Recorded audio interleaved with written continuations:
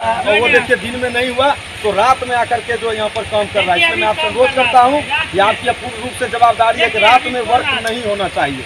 अगर होगा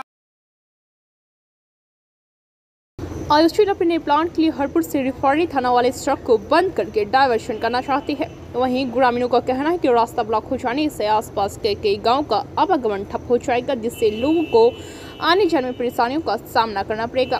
गुरुवार की बीती रात आयुषल चोरी छुपे से सड़क बंद करवा कर काम करवा रही थी, जिसका विरोध ग्रामीणों ने किया। इसी को लेकर आज बेगूसराय के गोविंदपुर में इस विवाद को लेकर सर्वदलीय बैठक की गई है, जिसमें सीपीआई के जिला मंत्री अवधेश कुमार एवं राजद किसान प्रकोष्ठ अध्यक्ष निशांत कुमार, कांग्रेस के नेता और ग्रामीण मौजूद थे। इस दौरान राजद के किसान प्रकोष्ठ अध्यक्ष निशांत कुमार ने क्या कहा, देखिए इस खास रिपोर्ट में। बीएनपी न्यूज़ के लिए शिवम कुमार की रिपोर्ट। आपको रिफंड लिख के दे। अगर किसी प्रकार का हादसा आता है उससे बच्चे को हम जो मरेगा उसको जीवित करके दे देंगे। अभी रोड घेर ले रिफाइंडी या रिफाइंडी गाँव के सावे गाँव खाली करा दे। रिफाइंडी को अगर क्षमता है रिफाइंडी के सावे के मौजा में बसा है? रिफाइंडी में हम लोग नहीं बसे हुए। हैं हम लोग का ज़मीन लेकर नहीं ये प्रोजेक्ट इतना बनाया। आज उसी को ये अवरुद्ध कर रहा। है ये सर साठ सत्तर साल से रोड है कोई आज का नहीं है ये। इस रोड को रिफाइंडी से केस लड़के जीता हुआ है रास्ता है ये। हाँ सब हाँ। सर कोर्ट से जीता हुआ सर इतना कर रहे हैं। हम लोग हाँ मैं घर को फ़ायदा कानून से लड़िएगा। सर हम लोग हैं। हैं सब दे दिए हैं डीएम साहब को हम लोग मैसेज भी कर दिए हैं। अब मान लिया जाए कि ठीक है यहाँ पर खून खराब कर तो लीजिएगा डीएम साहब मामला जवाब दूसरा देंगे देंगे डीएम साहब आपको जब इन्फॉर्मेशन किया लेटर किया तब क्यों नहीं एक्शन लिए दबाल गए राजकुमार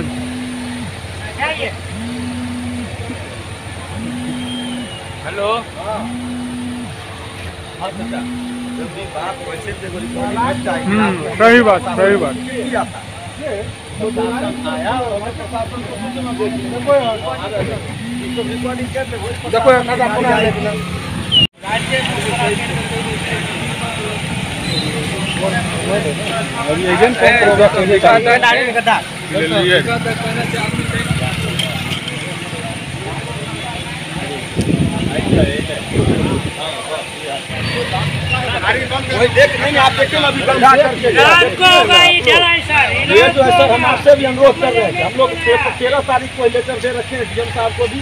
मीडिया अभी के सोशल मीडिया के माध्यम से दे रखे हैं। और पेट्रोलियम मिनिस्टर को भी हमने उनको भी ईमेल आईडी पे एप्लीकेशन दे रखा है। और ये चीज़ तेरह तारीख से ही विवादित है इस रास्ते को घेरने का रिफाइनरी जो है कोशिश कर रहा है। और वो देखिए दिन में नहीं हुआ तो रात में आकर के जो यहाँ पर काम कर रहा है इसलिए मैं आपसे अनुरोध करता हूँ कि आपकी पूर्ण रूप से जवाबदारी है कि रात में वर्क नहीं होना चाहिए। अगर होगा तो हम सारे ग्रामीण मिल करके सुबह दीवार तोड़ देंगे चाहे इसके लिए पुलिस हम लोग को प्रशासन तोड़ दे या जेल में डाल दे। हाँ बस।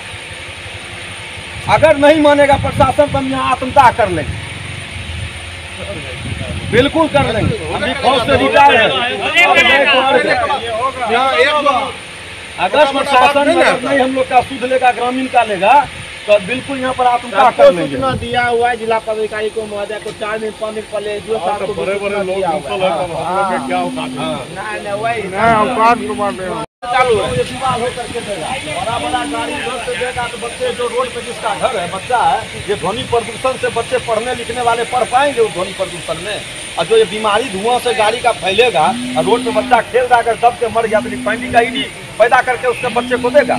हमारा घर रोड पर है। मामला यूँ तो कुछ भी नहीं है। अधिक रिफाइनरी के प्रबंधन के तौर पे कुछ भी नहीं है, लेकिन आम नागरिक के तौर पे बहुत कुछ है।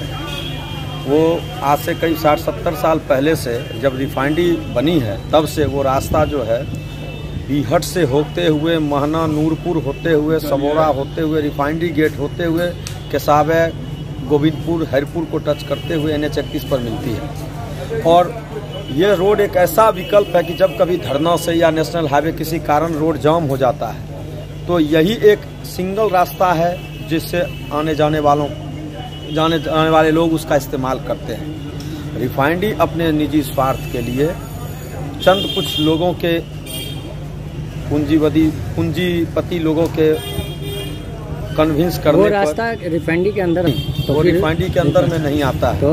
वो ग्रामीण रास्ता है और हमको जब से हो संभाले हमको वो ग्रामीण ही रास्ता नज़र आया है। आज हो सकता है रिफाइनरी बोल दे कि हमारा रास्ता है लेकिन पेपर पे हमको तो नहीं लगता कि वो रिफाइनरी का रास्ता है। तो विवाद कहाँ से शुरू विवाद यह है कि रिफाइनरी उस रास्ते को परमानेंट बंद करना चाहती है। वो जब रास्ता बंद हो जाएगा तो समझिए कम से कम लाखों लोग वहाँ से जो है प्रभावित होंगे। क्योंकि किसी को हरपुर से बिहट जाना है या केसावे गाँव वाले को थाना जाना है पोस्ट ऑफ़िस जाना है बैंक जाना है या डॉक्टर वैद्य के पास जाना है यही एक रास्ता है जहाँ पर आप मतलब जल्दी पहुँच सकते हैं।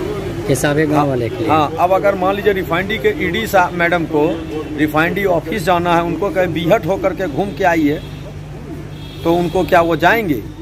अगर डीएम साहब को बोल दें कि आप पूरे बेगूसराय का परिक्रमा कर करके अपने कार्यालय में आइए तो क्या वो जाएँगे? नहीं जा सकते। हर आदमी शॉर्ट रास्ता इख्तियार करता है और वो रास्ता तो विगत साठ सत्तर वर्षों से चली आ रही है बनी हुई है। तो रिफाइंडी अपनी मन, रिफाइंडी प्रबंधक अपनी मनमानी कर रहा है। इसके, कल रात में भी वो चोरी छिपे आकर के ठेकेदार जो है वहाँ पर अपना काम शुरू किया था। ग्रामीणों को पता चला तो सारे ग्रामीण इकट्ठा होकर के उसका विरोध किया। उसके बाद ठेकेदार, लेबर सारे भाग गए। काफ़ी सिक्योरिटी आई, बरौनी रिफाइनरी ओपी आए ओपी के छोटा बाबू आए, उनको हम लोगों ने अवगत कराया। उन्होंने हमें आश्वासन दिया कि ठीक है, रात में काम नहीं होगा। उन्होंने अपने वरीय पदाधिकारी को भी सूचना दी फ़ोन से। उसके बाद कल ही रात में बरौनी प्रखंड के जो है सीओ साहब, बीडीओ साहब और सदर एसडीओ साहब से बात हुई। तो एसडीएम साहब ने आज हमें, हम सबको बुलाया था तो हम सब आज मिले एसडीएम साहब से। उन्होंने हमें आश्वासन दिया है कि हम लोग स्पॉट पे जाएँगे और वहाँ पर एक मतलब जो मीटिंग होती है पूरे समाज को लेकर के, उसमें के रिफाइंडी के भी तरफ़ से रहेंगे और बैठ करके उसका निष्कर्ष निकालेंगे। जब तक कोई निष्कर्ष नहीं निकलता है, तब तक वहाँ पर रिफाइंडी को आदेश दिया गया है, कोई भी काम कंस्ट्रक्शन का नहीं होगा।